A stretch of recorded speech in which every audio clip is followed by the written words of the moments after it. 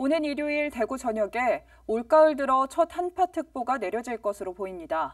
기온이 갑자기 크게 내려가 추워지기 때문에 건강관리에 신경 쓰셔야겠습니다. 김민재 기자가 보도합니다. 대구는 가을답지 않은 더운 날씨가 계속됐습니다. 지난 10일 낮 최고 기온이 31.8도까지 오르면서 기상관측 사상 114년 만에 10월 기온으로는 최고 기온 기록을 바꾸기도 했습니다. 그런데 오는 16일 토요일 오후부터는 이와는 반대로 기온이 큰 폭으로 떨어지면서 다음 날인 17일에는 올해 첫 한파특보가 내려질 것으로 전망됩니다. 영하 40도에 달하는 시베리아 쪽의 찬 공기가 우리나라 쪽으로 내려오기 때문입니다. 급격한 날씨 변화가 지금 예상이 됩니다.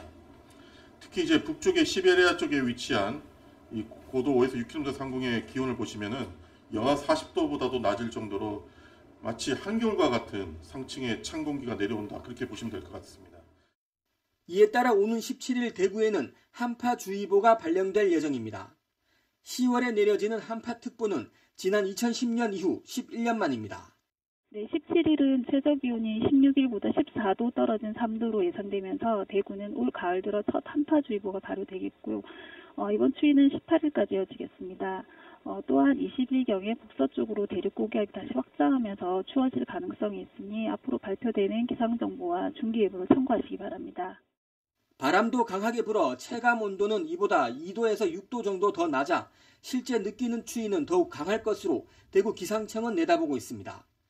한파주의보가 내려지면 내륙 곳곳에 첫 얼음과 첫 서리도 관측될 것으로 전망됩니다. 대구 기상청은 급격한 기온 변화로 인한 건강관리뿐만 아니라 농작물 냉해 예방에도 유의해 달라고 당부했습니다.